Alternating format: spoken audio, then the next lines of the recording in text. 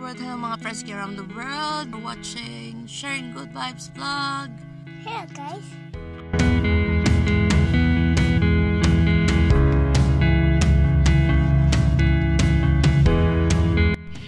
We're picking capers. What we're doing, Dylan?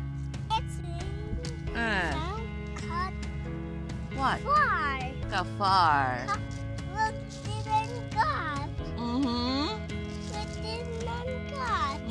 Some more.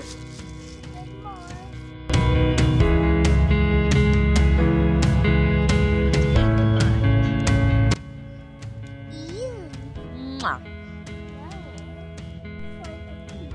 Okay, good job.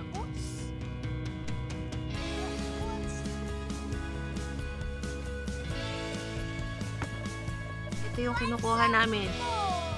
Ito yung papers. Yan. So, ito na yung nakuha namin, oh.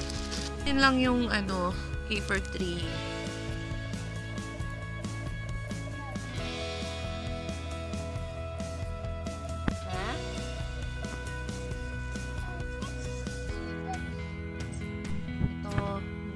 Size na. This is a flower bud, actually.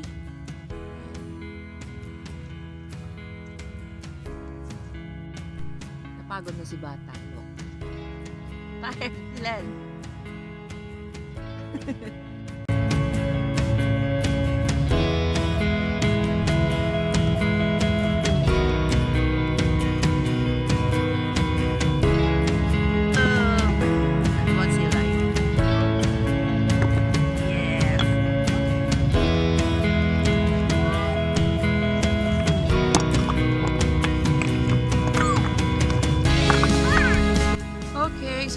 kaming mamitas ng capers. So, nagstay lang kami dito sa sa tabing dagat.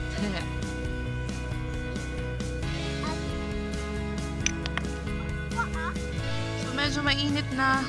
It's 10 o'clock. What else? So, capers, it's, um, they are using it for, it's a typical Mediterranean. Uh, they use it for cooking. Even for pizza and for their, the bread, they call it hobsabisate. So, if I have a chance, I will show it also.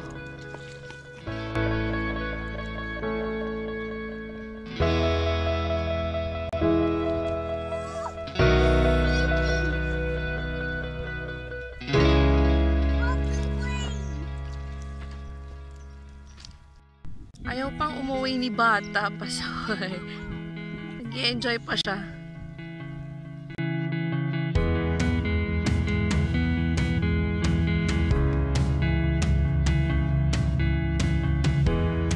Since summer na dito, makikita ka na ng maraming campers.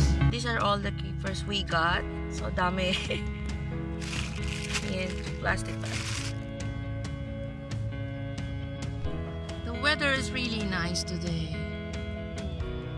Hindi masyadong malamig, hindi masyadong mainit. So it's really a good time to go out. Okay, so ang gamit ko for filming today is yung phone ni Habi. Kasi po, naiwan ko yung SD card ko sa bahay kasi nag-edit ako kahapon sa computer. Hindi ko nakuha. Yung camera lang. Ay, palpak. Ay, nako. Ayan. So, we're home and we have to wash now the capers.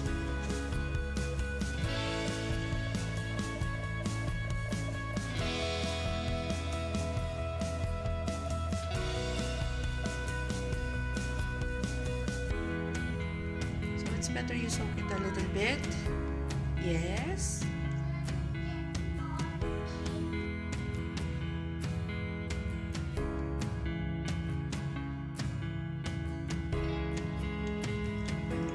so fresh. Look at the color.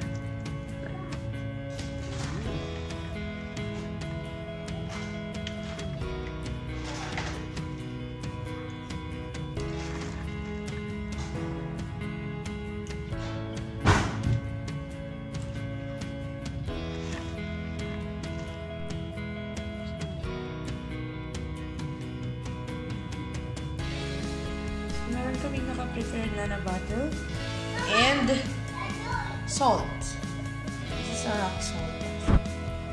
So, yun yung kailangan para iburo ang keepers or diffuser.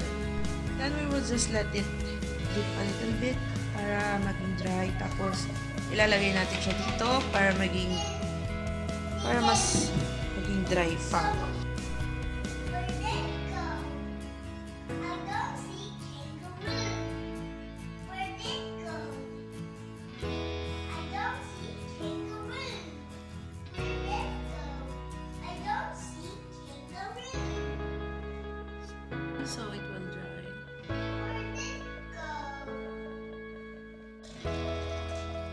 You have to sterilize the bottle that you're going to use. Those bottles are from the sauce that we bought and olives. We saved them for this.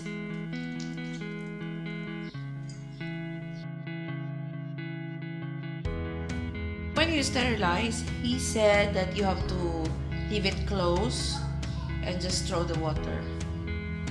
So it will remain sterilized.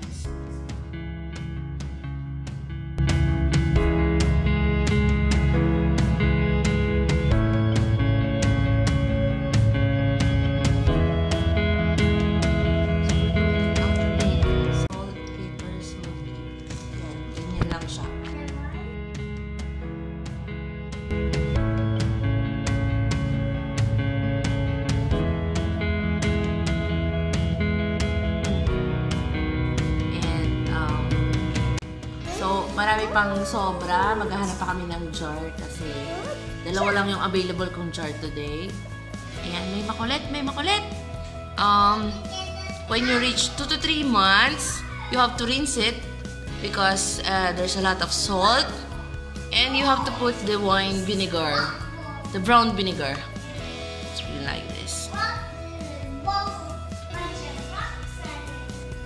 So I'm gonna end my vlog here. Thank you so much for watching. If you haven't subscribed, please subscribe to my channel. Hit the notification bell so you will be notified whenever I upload the new videos. And um, please like, share, comments. That's it. Thank you. Good vibes to everyone. Bye. See you on my next one. Thank you.